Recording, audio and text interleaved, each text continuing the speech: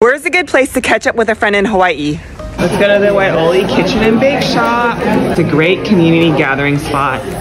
Love the lush greenery. This tea room's been around since 1922. Standing in line to order. Did we get our own silverware? Uh, yeah, I think so.